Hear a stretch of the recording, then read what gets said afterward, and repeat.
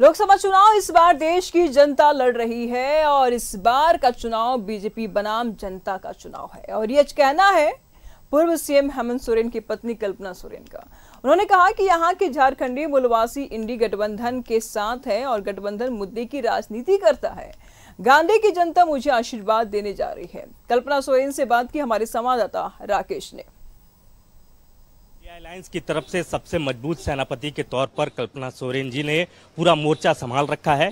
हमारे साथ इस वक्त बातचीत करने के लिए कल्पना जी हैं। कल्पना जी, एक तरफ़ मोदी शाह और दिग्गजों की फौज, दूसरी तरफ़ कल्पना सोरेन अकेले पूरा मोर्चा आपने संभाल रखा है।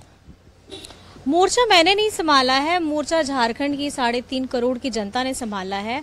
और मैं आपको बताना चाहूँगी, ये चुनाव जो हो रहा है, ये बीजेपी वर्सेस जनता हो रहा है, क्योंकि जनता त्रस्त है।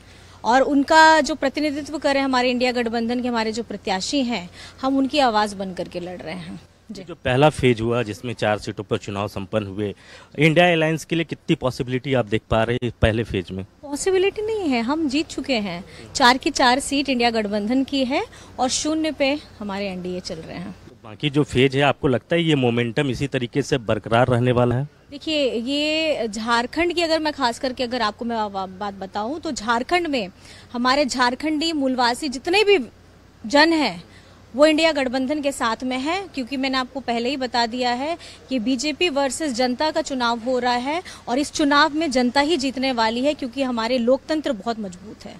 तो कमी खल पा रही है इस चुनाव में? कमी नहीं खल रही है क्योंकि जो योजनाओं की गंगा हेमंत सोरेन जी ने पिछले चार वर्षों में बहाई है उस गंगा का जो आशीर्वाद लेकर के हमारी जनता जनार्दन पूरी तरह से आश्वस्त है कि यहाँ पे अगर आएगी तो इंडिया गठबंधन की सरकार के सारे हमारे प्रत्याशी आएँगे। और जैसे मैंने आपको पहले भी बताया है अपने भाषण में भी कहा है दिल्ली हम जल्द पहुँच रहे हैं। मैडम गांडे में आप भी चुनाव लड़ रही हैं।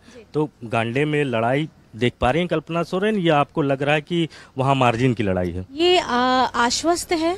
मैं आश्वस्त हूँ। और ये जो आशीर्वाद है जनता का, खास करके गांडे की जनता का, ये आश्वस्त हूँ कि तीर धनुष पे, प्रचंड मात्रा में वोट दे करके वो अपना आशीर्वाद दे चुके हैं। और कल वोटिंग का दिन है। सभी से अपील भी करना चाहूँगी कि देखिए, मतदान है, लोकतंत्र का पर्व है और हमें घर में नहीं रहना, इसको छुट्टी के तौर पे कोई ना ले।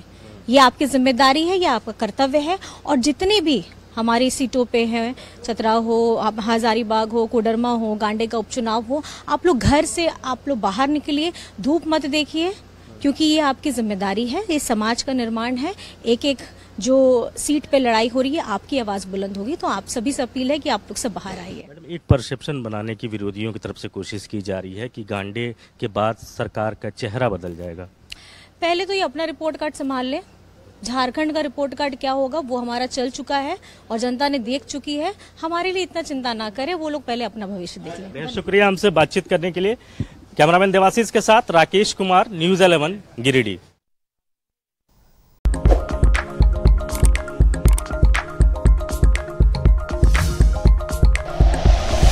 Like and share videos, subscribe करें हमारा चैनल और प्रेस करें बेल आइकॉन न्यूज़ 11 भारत सच है तो दिखेगा।